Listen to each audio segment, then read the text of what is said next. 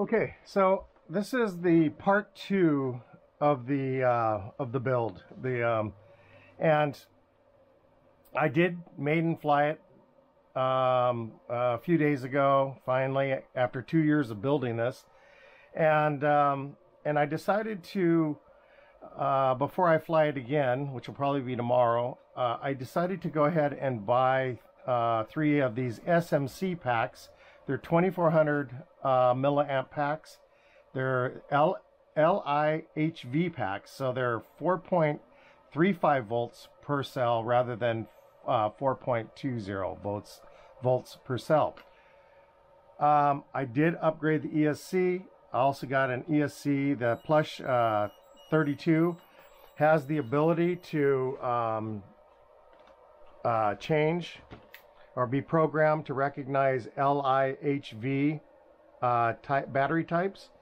The Skywalker that I installed a couple years ago uh, did not have that. Now, of course, you can use LiPo, but I just I want to make sure everything is LIHV compatible. So, uh, so I did buy that uh, Turnigy uh, uh, ESC, and uh, I have programmed it for LIHV. I have tried the default advanced timing of 18 degrees, 24 degrees, and 30 degrees.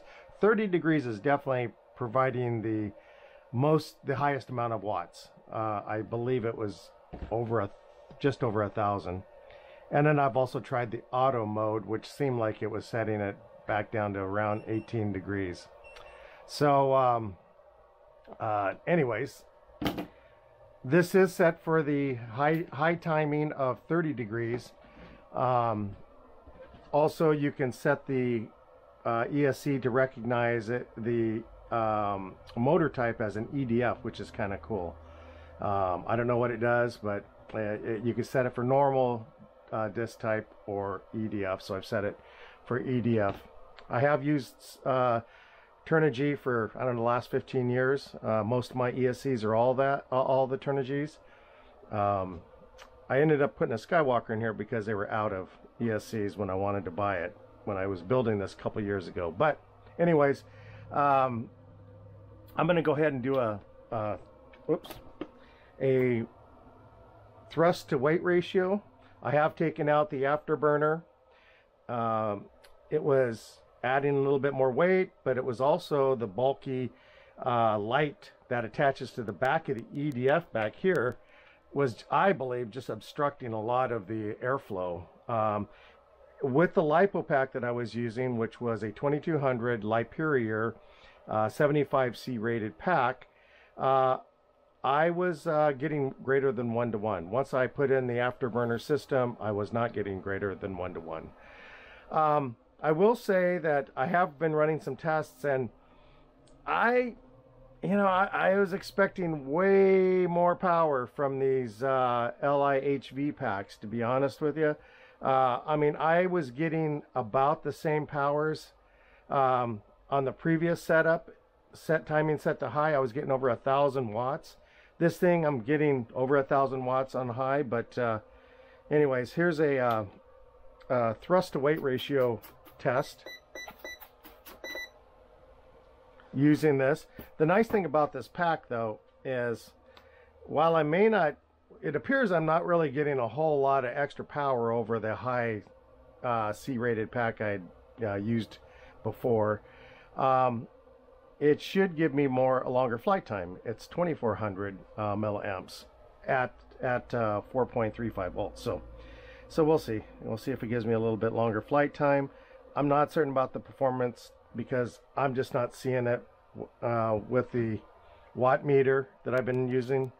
So, but let's just go ahead and do a thrust to weight ratio test. Whoa. Yes, definitely, definitely has plenty of vertical climb, at least on a fully charged pack. I'm not certain what happens after I've run it for a while, um, but as you can see, it goes straight up.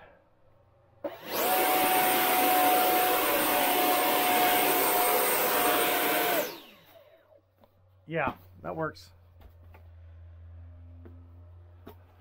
All right. So that was definitely greater than one to one. It went straight up from a hover. So, um, and I was not throwing it up. I mean, I was just holding it and then letting go. So, um, let's go ahead and do a, a watt meter test on this battery pack. I need to recharge it. I want to charge, I want to do it from, 100% uh, full, but, uh, I'll be right back. Oh, the, um, the battery pack with this, as in the previous build, the foam here goes all the way out to here, and I and I melted it all back to the battery wall. With the Liperior 75C rated pack, this heavy one here, which I think it was 281 grams, um, pushed to the back, uh, I was barely able to achieve the range of the COG in the book. It was like, uh, I think it's uh, supposed to be like 83 to 88. And well, let me just verify that. Yeah, 83 to 88. I was getting 82, 83. So it was on the forward uh, part of that range. The nice thing is, is this this SMC pack pushed all the way back I am now dead center in the range um, at uh, so 85 degree 85 millimeters. Um, so as you can see right there, it says COG 85 millimeter. It's dead center.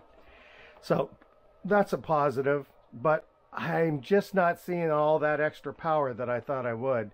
Um, I probably could have gotten by with a 60 amp ESC instead of the 80, but uh, but it's in there, so I'm not going to pull it out. All right, I'm going to charge this up and then do a, uh, uh, a watt meter test on this. Okay, we just did the uh, thrust to weight ratio. As you can see, it went straight up. Definitely, uh, and this is set for 30 degree high timing. We're going to do a watt test on it, see how much power we're getting out of it. So I just recharged the battery. Again, this is using the LI HV battery. So uh, let's go ahead and, and test this out.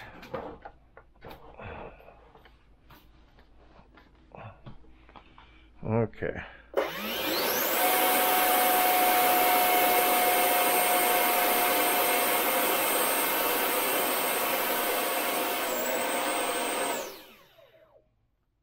All right, let's see what we're getting out of this now. Same battery as the thrust to weight ratio test and just charged it. Um, and I am 1067.9 peak watts, 67.08 peak amps,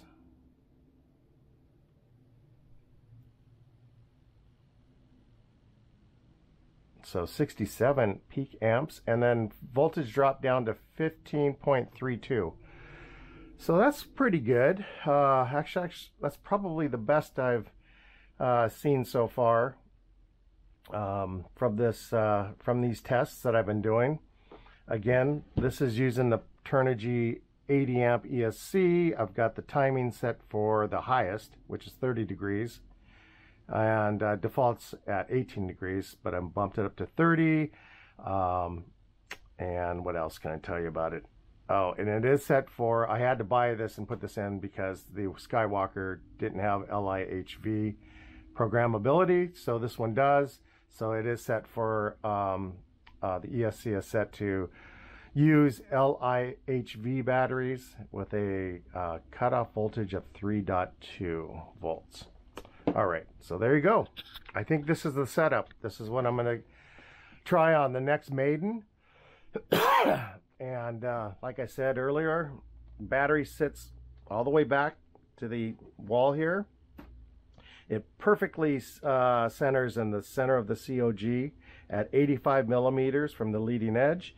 I did put in a Spektrum AR630, which I think I had a 620 in there before. Um, I went ahead and bought another one of these based on my test with the uh, new FMS um, 64 millimeter F-16 Fighting Falcon that just came out with the nav lights. I just bought that. I made in that last week along with this plane.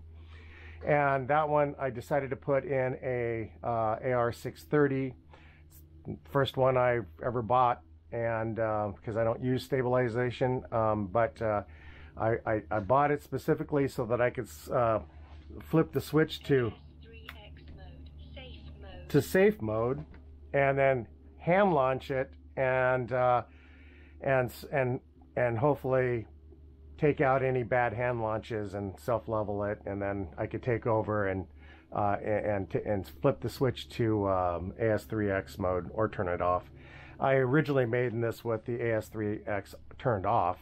Uh, well, I didn't have it on actually. I, I meant the uh, F16 I made with it turned off, and then after um, after it was uh, uh, in the air and I'd had it trimmed out. Then I tried the F-16 with the safe mode with my buddy throwing it and without touching the um, the transmitter sticks and it flew out and leveled off and then I flipped the switch to AS3X and it worked great. So I decided to uh, buy another one and put it in this plane because I don't want to have to rely on somebody else throwing the plane for me.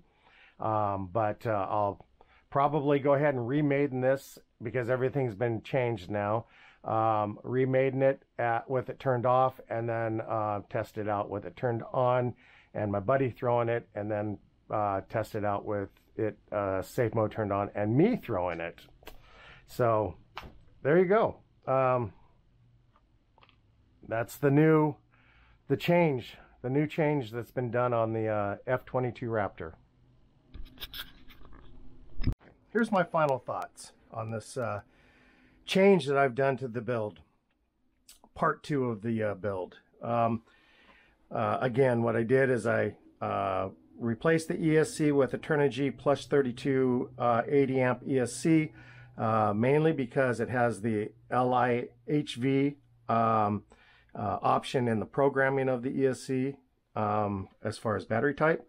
Um, Again, I've gone with the higher voltage uh, uh, SMC, uh, 2400 milliamp, 4.35 volt per cell uh, battery. And I also switched out the AR410 with an AR630 for the flight stabilizing um, uh, safe mode on hand launch. My final thought is as far as performance, and here are the three benefits, I guess. Um, uh, although the first one I'm going to talk about is the power rating. I expected, I'm a little surprised. I expected definitely way more power coming out of this. These battery packs as opposed to the Liperior 2275C um, battery that I was that I used in my maiden a few days ago. So uh, I think I the wattage went up from 1000 watts up to 1064 maybe 60 yeah i think it's 1061 i don't remember but uh, whatever it is in the video so a marginal increase in uh, wattage and power the other two be uh, benefits however uh, that are not marginal benefits number one the the battery pack is lighter. It's 218 grams as opposed to 281. This thing is just a, a heavy beast and probably with the high C rating, probably why I was getting really good power rating out of this battery. Um, uh, so it's a lighter battery plus enabled me to move it all the way back and to the to the back wall and be dead center in the um, range of COG that's in the book. So I'm at 85 from the leading edge, which is dead center. Um, using this heavier one, uh, it was it was the CG was about a millimeter ahead of the range in the that's listed in the book. So it was a little bit nose heavy. This should be able to. I mean, again, the, because it's lighter, it's dead center in this in the COG. It should have a better speed, top speed, I would think. Uh, it's it's the plane is going to be slightly lighter. Um, so yeah, I, I mean, I, I aside from being a bat lighter battery pack and the COG being dead on dead center now, um, and a slightly marginal increase of performance and speed or power, it, overall it should be an okay um, uh, uh, uh, change. But I was expecting more out of these power wise. But overall, I think it was a good change. Was it worth buying three of these SMC packs plus switching out the uh, Turnigy or the ESC? Um, probably. I mean, I'm all about having the best possible aircraft you can build, and and this definitely will uh, fit the bill. So, and with the addition of the AR630, uh, make it easier for me to hand launch without having uh, bad hand launches and ending up that end up in the as a crash. So, um, so those are the upgrades since the original build that I published a couple years ago. Uh, I'm hoping to go out tomorrow to fly this, to remade the whole thing now that it's got it basically new everything. And we'll see. I'll let, uh, let you make that decision. But overall, I think this is the optimal setup that you can put together for the Freewing F-22 Raptor 64 millimeter. Okay, so here is the TrueFire LED afterburner. Here's the little module uh, that was stuck inside the fuselage. This thing right here actually gets mounted and gets glued onto the fins of the EDF. So it sits on the back of the EDF, and then and that's that's how it uh, emits light out the back. But and while it's the whole thing, it's you know I kept saying in the previous videos due to weight, I was losing, I was no longer one to one greater than one to one thrust to weight ratio, which it definitely was not. You know, it sagged instead of going up like it did before. Um, I don't think it's a weight issue because this really doesn't weigh a whole lot. Uh, I mean, it's got some weight, but not a whole lot. I think personally, it's because of this thing. It just cuts down on the um, on the airflow. I mean, it's you know the it sits over the the outrunner right here, so the outrunner is actually inside here, and it gets and it gets attached to the EDF splines. And so the, the fan is right here and it's blowing. And I think some of it's getting in there, some of it is blowing into here and uh, getting caught up inside there. So I, I like my planes flying as fast as possible. And I decided to go ahead and take this out. Unfortunately, it was probably a waste of money. It was kind of cool to see it though. Um, if you saw my build video earlier, you'll see that in there. And uh, but I'm about performance on my planes, so um, I, I, I, think that I'll get back to one to one ratio, and well, I know I will. Uh, but I was getting with this lipo, and now that I'm switching to the LIHV, they say it gives about I think it's a somebody had said it gives you about a 10 to 15 percent performance increase, so that's pretty significant. So it'll get back to being greater in one to one and being a lot faster. So, uh, anyways, that's it for now.